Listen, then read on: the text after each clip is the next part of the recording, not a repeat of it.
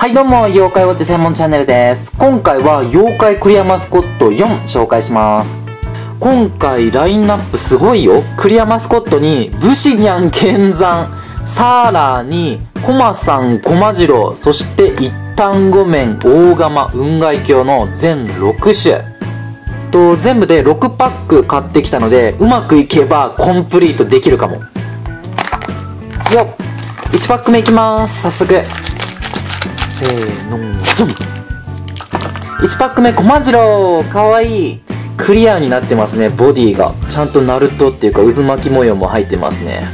風呂敷はクリアじゃなくてちゃんとこうペイントされてますね。一応これ食玩なんでソーダ味のガムも入ってます。ブシニャン欲しいな。2パック目。せーの、ドンおおコマさん出ました。すごい。かわいい。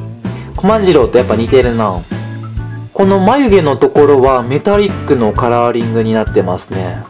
風呂敷もちゃんと緑色ずらしゃ。3パック目いきます。おこの感触は。せーの。一旦ごめん。なんか平らな感触やったんですけど。一旦ごめん。こちら。すごいクリアになっててペラいので中の釘が見えますね。一旦ごめん。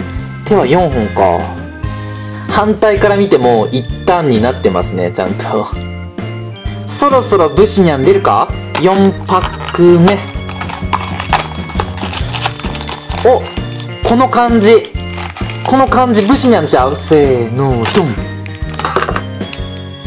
コマさん。コマさんダブリですね。まあ、可愛いからいいか。5パック目いきます。かぶらんといてほしいな、せめて。せーの、ドン。おっつ。まさかの一旦ごめん、ダブリ。嫌な予感がしてきた。6パック目いきます。嫌な予感する。コマジロウかな。せーの、ドン。コマジロウでした。開封結果見てみるとなんかこれ綺麗に2個ずつダブりましたね。コマさんコマジロー一旦ごめん。ボックスの左1列買ったのがあかんかったかな。縦1列。はいということで以上今回は妖怪クリアマスコット4の紹介でした。